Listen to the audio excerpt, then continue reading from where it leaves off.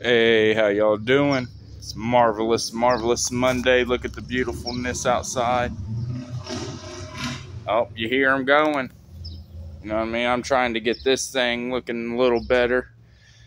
Just trying to see what I can get. See if I can zoom in here. Oh, there it was. You see like them little swirl marks and them scratches. Granted, it's a 96 and this is all original paint. And I'm not sure on how the dude before me took care of it or the gentleman he got it from. See, like you got chips there. On that side, there's little stuff. And I tried rubbing polish and hand polishing it. Or there we go. I don't know if you can see that. But overall, it just don't seem to really get it. I haven't tried a rubbing compound yet. Let's see, even on the covers right there these covers ain't bad. But for all my paint and body folk out there, what can I do without, you know, taking it to a shop or, you know, having the bike being down? What's the best compound, the best polish, hand wise, you know what I mean? Or should I get attachments for my drill? You know, I don't want to do anything to eat the paint up. I'll probably be painting it this winter if I can't get it figured out.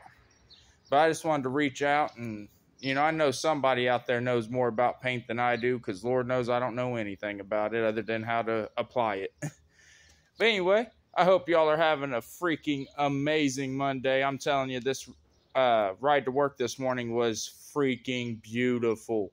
So peaceful. Traffic cooperated. The wind was nice and calm. And it, I mean, it was just beautiful. I mean, look at it though. It's a little warm right now, but thankfully we get to wear shorts or take tops and all that mess. But it's just overall freaking gorgeous. Just gorgeous. We waited all year for this. But anywho, I hope y'all have a great day. Please chime in in the comments on uh, what I can do. You know, if there's any tips, tricks, little uh, inside secrets, y'all can share them with me. I promise I'll keep them our secret. And if y'all don't know, but know somebody who knows, feel free to share the video and let's get it out there, y'all. Much love. God bless.